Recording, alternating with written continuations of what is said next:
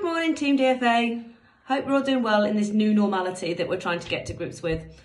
I'm currently spending most of my time on Dove campus at the moment, and yesterday we started learning some sign, so I hope I did okay there.